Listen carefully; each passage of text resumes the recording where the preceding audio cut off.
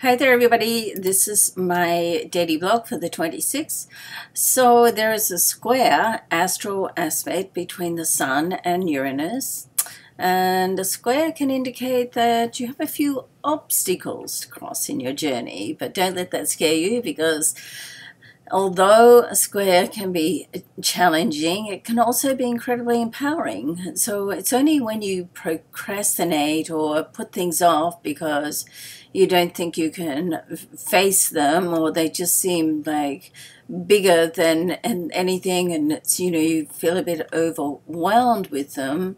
Um, so usually, you know, things, uh, when you get in that state, then um, you know, you can get into a little anxiety, and generally things are not as bad as you perceive them to be. So you want to sort of sit and take a deep breath, just like whew, let it out, and then just dive in and take action. Any action, just put action to it so you move forward okay and when you do that he can release and you feel like a huge weight just lifted.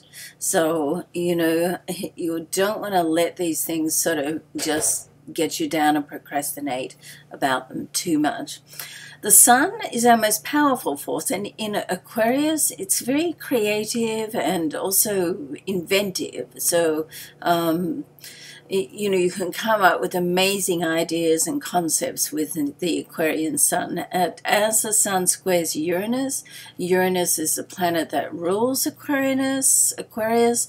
So this can really spark and cause some new developments in some way. And a, new start that can be well worth any uncomfortableness you go through. Okay, so um, just keep moving forward one step at a time, one inspired thought after the next, and you'll get to where you're going, okay? All right, much love and luck and blessings to you. We'll see you tomorrow. Bye for now.